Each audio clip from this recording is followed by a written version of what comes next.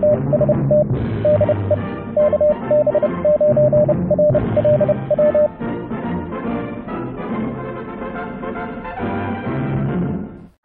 YouTubers and fellow hams. Well, just a quick little video. I wanted to take a look at using the little SI4732 ATS Mini pocket receiver for CW. Look at this little guy. Isn't that cute? So this will do uh, FM, AM, single sideband, and in single sideband mode, it has a filter width that can go down to 500 hertz. So, and a, with this new firmware on it, um, a tuning step down to 100 hertz or less. So should be ideal for working with CW. And I'm going to pair it up with my CW Flea transmitter and uh, see if we can make a contact. And then we'll uh, take a look at the bandwidth in the uh, waterfall to see how, uh, how well its filter is actually working. To use the receiver for CW, we need to set a couple of things. So I've got it on 20 meters right now, and by default it's in sideband, as you can see here, upper sideband. But we're going to want to set our uh, step which I think by default is 1 kilohertz. Probably want to set that down to um, 0.1 kilohertz. You can go lower, 50 hertz, 25 hertz. But uh, for tuning in CW signals, uh, 100 kilohertz is probably fine. So now step is set to 100 kilohertz. And we'll want to narrow the bandwidth down as well. So I'll go to bandwidth. And with this newer firmware, you can see we've got a lot of choices here. So let's go 1.2, let's go to 1K, and we'll find a CW signal.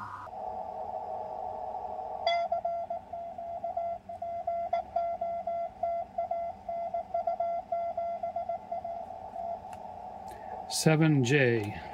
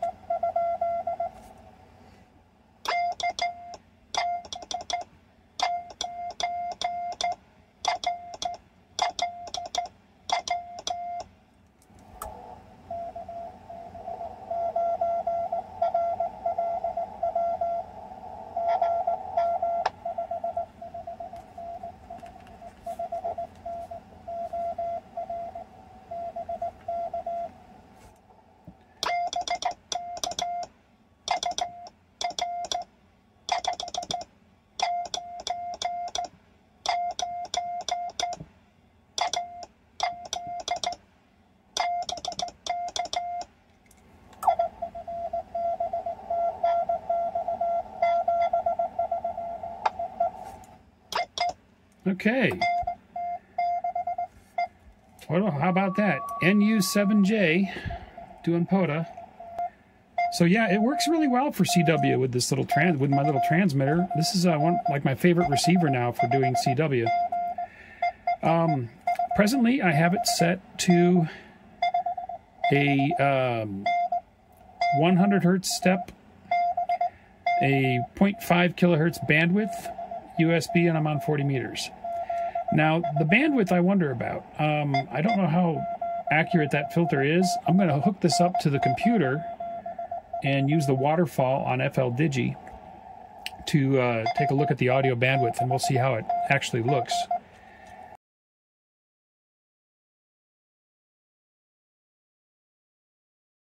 All right, I'm going to try to get fancy here with two cameras. The filter is presently set to 1 kilohertz and if we look over at FL Digi, I can see fall off starting around 500 and around 1500. So, well, yeah, about one kilohertz. You can see the audio information is mostly concentrated here around a kilohertz. So it looks like the center frequency is one kilohertz. Let's drop the filter down. Uh, bandwidth. There it is, bandwidth. We'll take it down to 500 hertz. Okay. If we look over here at FL Digi now, we can see we're centering around 500 hertz, and it definitely did drop off. So the center frequency of the filter does not stay the same. That would be confusing. That's that's what confused me when I was trying to use it at the smaller filter. I was like, something's not right. The center frequency shifted down to 500 hertz. So it looks like when you set the bandwidth, um, we had it set to one kilohertz. It was centered around one kilohertz, and it was a kilohertz wide. And now it is. Um, let's see that. Sam. One, two, three, four, five, about 600. Or if we go from where the yellow is starting here, one, two, three, four. So yeah, it's about 500 hertz. One, two, three, four. Yeah, it's about 500 hertz. And it's centered just above 500 hertz. What's the, what's the next bandwidth setting here? Um, that's the lowest is uh, 500 hertz. Let's take it up to uh, to 2.3 kilohertz and see what it does. okay, now if we look over here at FL Digi, it looks like our center is somewhere around 13 1.3 kilohertz. And uh, yeah, it's pretty close to 2.3 kilohertz, isn't it? But again, our center point shifted. Now it's centering around 1.3 kilohertz. So when you're changing your bandwidth here, it's tracking pretty well, um, but it's shifting around. So if you're down at a 1 kilohertz bandwidth, it's going to center on 1 kilohertz. If you're down at the 500 hertz bandwidth, it's going to center around 600 hertz in the audio spectrum. So that's really interesting to note on this little receiver. Still, a fine receiver for using for CW, as we saw and heard works pretty well. Well, so there you go. This little guy makes a nice little CW receiver. Uh, you could pair it up with a crystal uh, crystal controlled transmitter or any uh, small uh, transmitter, and it'd be a nice little thing to put in your go bag. Doesn't take up much space and uh, works fairly well. So, as a little CW receiver, uh, this is my new favorite one to use with the CW Flea. In fact, I think I'm going to. I've got a little carrying case, and I think I'm going to try to build things into that case to have a little uh, QRPP portable uh, setup.